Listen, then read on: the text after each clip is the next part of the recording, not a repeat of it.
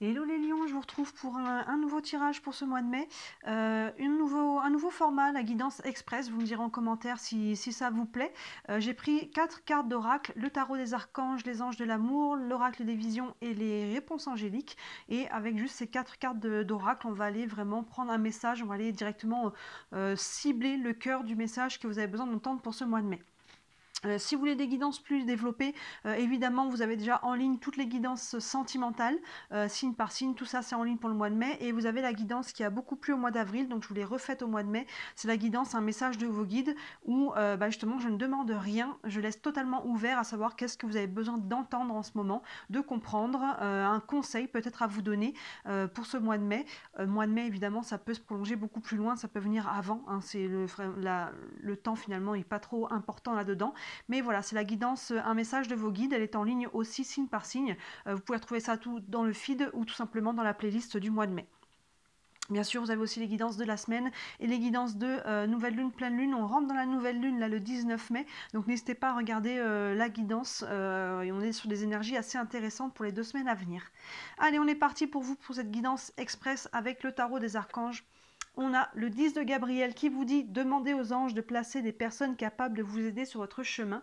Vous travaillez trop, vous en faites toujours trop pour plaire aux autres. Les lions, là, il y a vraiment une notion euh, d'accepter de faire appel aux autres, que ce soit des amis, de la famille, que ce soit un conseiller, un thérapeute, que ce soit euh, vos collègues au boulot, que ce soit, vous voyez, peu importe dans quel domaine de vie, hein, ça vient se transposer pour euh, chacun d'entre vous, mais il y a une notion de faire appel aux autres aux anges aussi, hein, demander aux anges. Donc n'hésitez pas à demander aussi aux anges, guide Dieu, hein, peu importe le nom que vous leur donnez, euh, de vous épauler, de vous envoyer de l'aide, des signes, des personnes euh, capables justement de, de, mettre les bonnes personnes sur votre chemin. Il y a vraiment cette notion de d'oser demander de l'aide, peu importe hein, euh, à qui.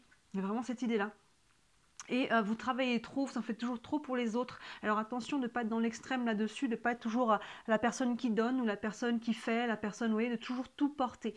si c'est le cas, c'est qu'il y a une notion entre problème entre guillemets de limite peut-être à poser, hein, mais il y a vraiment une notion peut-être aussi d'avoir tout simplement besoin de prendre un petit peu de repos. Donc là-dessus, vous voyez comment ça vous parle. On continue avec les anges de l'amour qui peut être transposé dans n'importe quel domaine de vie, hein, pas que dans le sentimental. On a amour véritable. Voici l'amour de votre vie. Alors on peut être sur le sentimental. Pour les autres qui ne sont pas sur le sentimental, on est sur quelque chose qui vous tient clairement à cœur là. Amour véritable, il y a vraiment quelque chose de vrai pour vous qui vous tient à cœur, qui est important pour vous, que ce soit un projet, que ce soit effectivement du sentimental, mais ça peut être aussi la famille, les amis, le relationnel plus général, ça peut être peu importe quoi. Il y a quelque chose là qui, vibre fort pour vous. Hein. Euh, voici l'amour de votre vie, voici le projet, voici la situation, c'est maintenant aussi. Il y a vraiment quelque chose qui vibre. Donc là, il y a cette notion par rapport à ça, l'énergie qu'on a devant, de ne pas hésiter à demander de l'aide si c'est important. Hein. Euh, pourquoi, si vous avez du mal à demander de l'aide, pourquoi? Est-ce que c'est par fierté? Est-ce que c'est par euh, difficulté à, faire ce pas? Vous voyez qu'il y a un blocage par rapport à ça. Mais si on n'a pas, n'hésitez pas vraiment à demander de l'aide parce qu'il y a quelque chose là qui est important pour vous, qui vibre juste. Donc ce serait dommage que vous le fassiez pas hein, parce que euh, vous devez tout porter tout seul et que finalement, bah, c'est pas, c'est peut-être pas comme ça que c'est censé se faire. Il peut-être, il n'y a pas de mal à demander de l'aide, hein, surtout si c'est important pour vous. Ensuite, avec l'oracle des visions.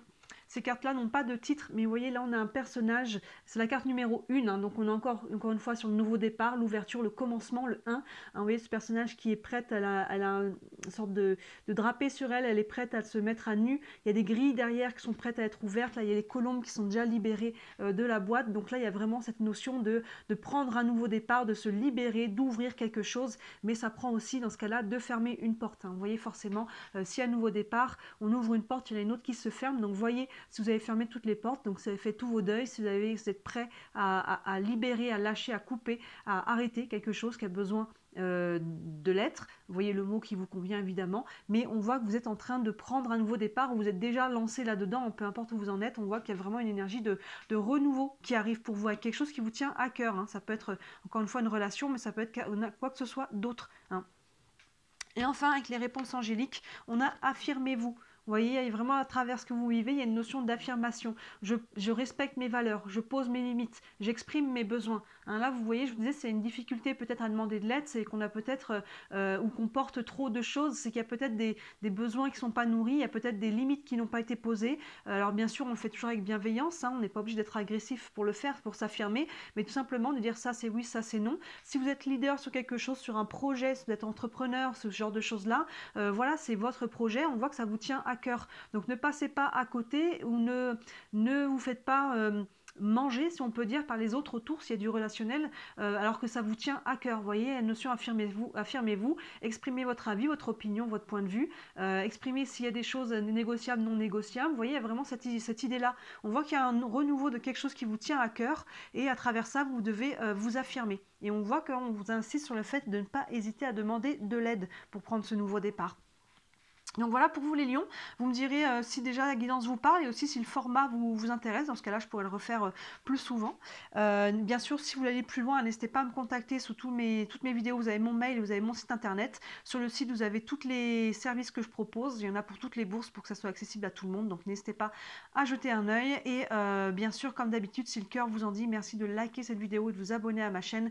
Deux petits clics et moi en échange ça me permet de me faire connaître et ça me permet de vivre de mon travail.